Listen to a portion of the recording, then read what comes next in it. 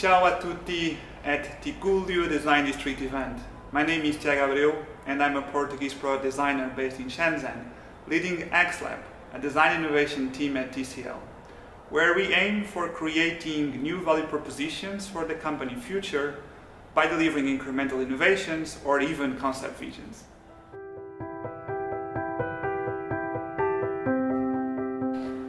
My design background has always matured around the product. I graduated back in 2006 as a product designer at IAD in Lisbon. After a short stay in Portugal, in 2009 I moved to Barcelona for doing my product design master degree at Elisava. I stayed in Barcelona for around five years before moving to China. However, right after completing my master degree, I enrolled in the beautiful six months internships in a quite cool and distinct design office located at Via Privata Caccia, Milano.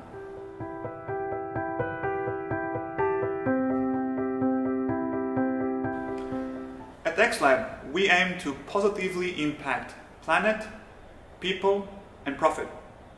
Once we achieve these three key factors, we can consider that our work is meaningful and well-rounded.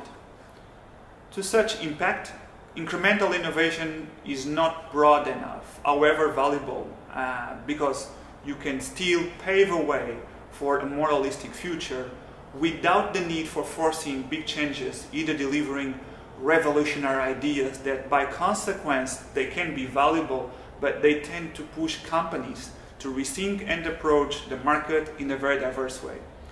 And as, as you know, at a corporate level, drastic steps are never welcomed. Risking to disrupt business efficiency is a no-go.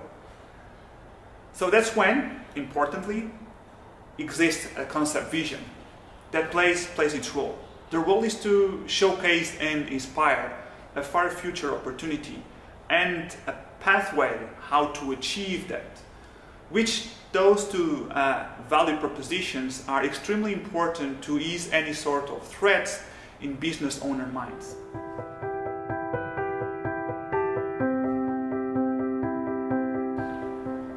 Concept vision is the manifesto that portrays a future context where a product or a portfolio opportunity will shape the company and drive all the departments to align towards a, a common goal. A concept vision has no purpose to land in the market. It, it, it value it aims more for a strategic tool that predicts a possible future reality and helps the company to evaluate and build upon a prospective future. Besides that strategic tool, as well as a very important PR marketing tool that helps the company to gain coverage and build marketing trends and brand awareness among partners, customers, and future buyers.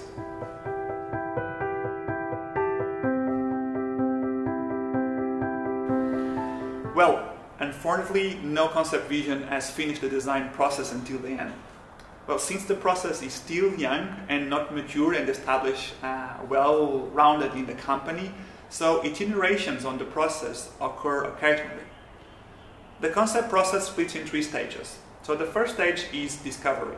So it's about uh, predict future context and identify opportunities that place in a certain frame. Then you move to execution. Execution is about uh, strategic selection of those opportunities that you tend later on to materialize, right?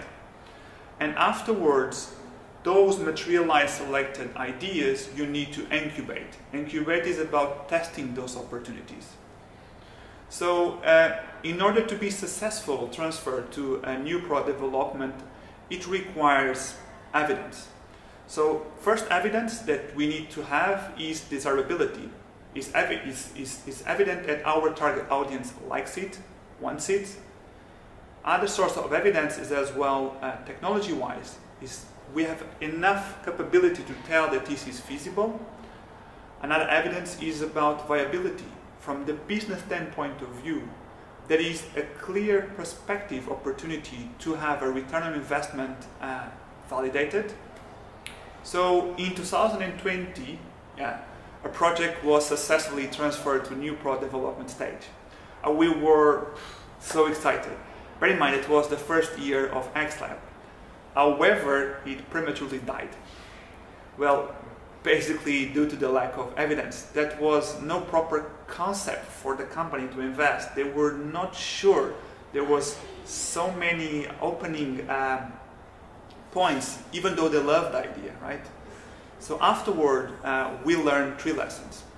Concept vision is not a going to market design. Concept vision should not be evaluated without incubation stage.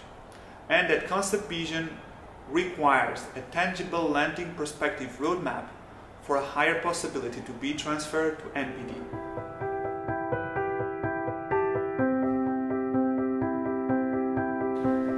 Design is a creative, inspiring, and yet strategic tool that helps to tackle unpredictable future challenge by bringing a more human approach that ultimately is accountable to impact our professional and yet personal decisions. So I encourage young designers that they are embracing the beginning of their professional journey to prioritize purpose and to be humble and stick with those leaders and mentors that they are kind and empathic. Such values are extremely inspiring because those persons that have no fear of being vulnerable and those are essential leadership values for the future of business and our lives in general. Ci vediamo presto Tigullio Design District. Bye bye.